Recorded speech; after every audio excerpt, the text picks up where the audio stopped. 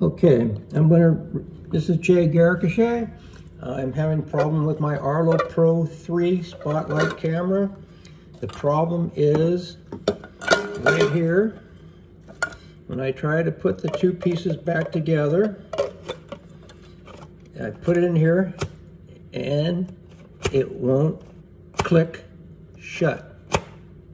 I try, I try, it just won't click shut.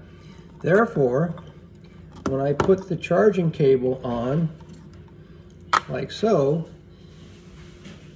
it doesn't charge because it's not securely put together. And just to let you know that this is working properly, here is, you'll see the blue light come on. So the power is working. So when I put it on here, the blue light should come on here also. But because it's not secure or clicked into place, it just won't click into place. There, can, does that explain my problem? So I can't charge the battery because it won't click into place. Okay, thank you.